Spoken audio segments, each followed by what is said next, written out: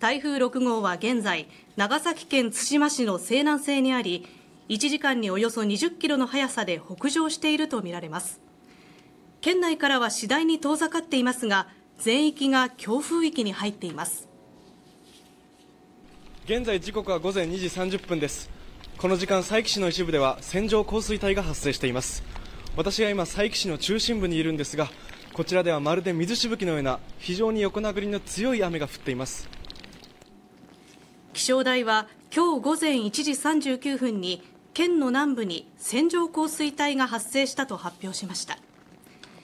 現在佐伯市と豊後大野市に土砂災害警戒情報が。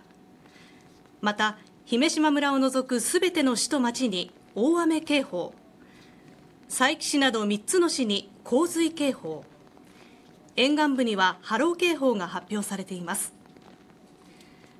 こうした状況を受け佐伯市と豊後大野市由布市の一部の地域には避難指示が出されています。県内は昼前にかけて非常に激しい雨が降る恐れがあります。